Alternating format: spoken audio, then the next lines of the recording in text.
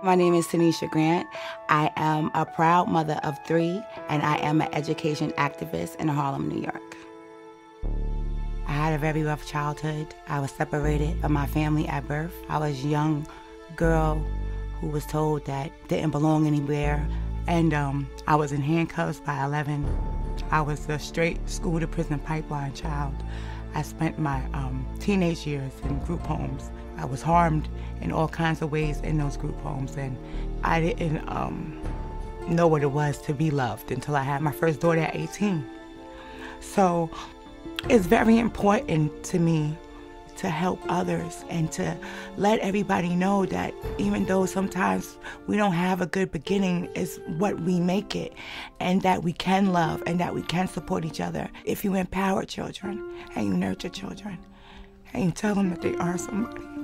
It makes a difference. So I want to make sure that my children had it and that other children have it. In 2020, during the height of the pandemic, I started Parent Supporting Parents New York. We are a nonprofit grassroots organization. Our mission is to make sure that parents thrive and not just survive. It starts with the basic needs housing, food, groceries, and utilities bills paid. Whatever our funds allow us to do to help parents and families and children in our community. Technology is so important. So when remote learning started, it was a struggle.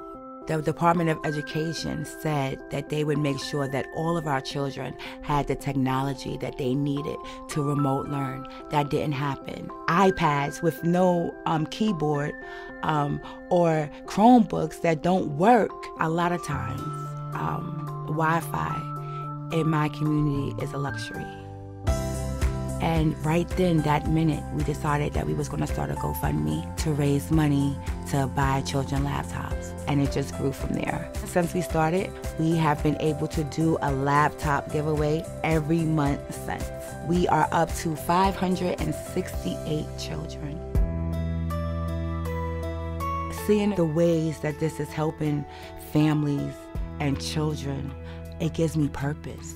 It lets me know that I'm here for a reason and this is what it's for to, you know, do as much as I can while I can. And I believe that we all have a part to play in making the world that we want to see for our children. And so I'm just doing my part. You try and reach out to your community in multiple ways, right? On multiple levels. Right we also do um, sensory boxes. Um, I don't think that I think that you know our children, you know, that learn differently because I don't really like to say special needs. I have a five year old autistic nonverbal um, grandson who is a beautiful baby, um, but you know we just got him a para this year and he's been in school you know two years.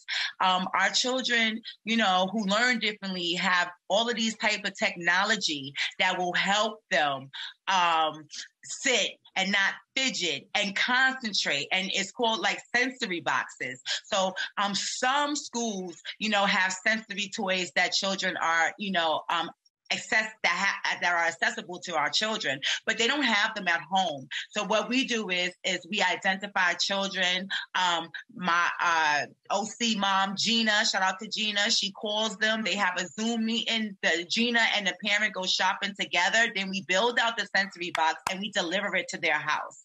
This is the type oh, of work great. that we want to do. Feeding the community. So is that is um, that the future plan? Just to keep expanding all yes. of the tools we wanna, that families need. Yes, we want to keep expanding and we want to keep bringing awareness to like um, children that we don't highlight. Like um, there's a lot of us out here that were underserved as children and it has affected us in various vast ways during our lives. And if I can help children, you know, families giving these children computers, that's one less thing for their parents to worry about. Our friends at Gateway, this is cool they're donating $10,000 to your organization and $3,000 of laptops. And $3,000 more of laptops. That's pretty cool. Thank you. Oh my goodness. Are you serious? Oh, that is amazing because you know we can stretch ten thousand dollars and more you know resources to technology for our community. Thank you so much, Gateway. Thank you so much, Rachael Ray.